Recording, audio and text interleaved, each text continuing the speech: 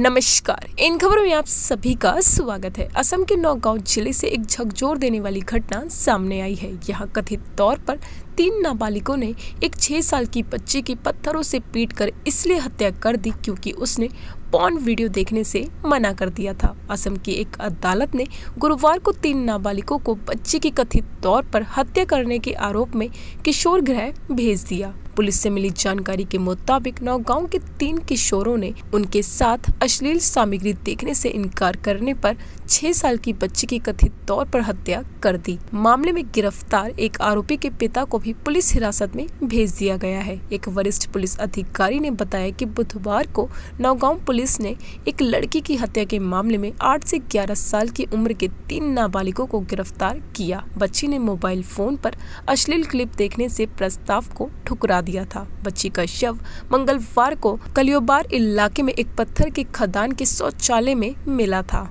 Police ने कहा कि मंगलवार को नाबालिग लड़की के घर के पास रहने वाले तीन पॉन एडिक्ट किशोर पीड़िता को पास के एक पत्थर की खदान में ले गए, जहाँ उन्होंने उसे अश्लील क्लिप दिखाने के लिए कहा। जब उसने उनके प्रस्ताव को ठुकरा दिया तो लड़कों ने कथित तौर पर उसे पत्थरों से पीट पीट कर मार डाला।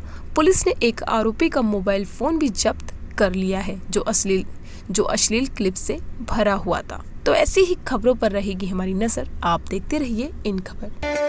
इन खबर चैनल को सब्सक्राइब करें